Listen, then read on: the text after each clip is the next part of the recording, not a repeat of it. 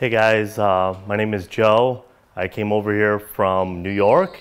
Uh, I ended up traveling over here to Istanbul, to the Hair of Istanbul. I actually um, found them out on Instagram and uh, some various videos on YouTube as well. Um, I know their before and after photos are amazing, have amazing results, and um, you know, I end up reaching out to them on the WhatsApp, and uh, it was really smooth interaction. I ended up planning it out, coming the trip over here, um, and then my expectations of what actually was going to happen was I was probably going to get maybe anywhere from three to four thousand grafts, and it turns out I ended up getting 6,500, which is almost, if not the most that they have done or tied the most, which is amazing. Um, from beginning to end, it's really been solid. It's been fun and um, very painless as well too. Um, and I highly recommend you guys come check out Hair of Istanbul.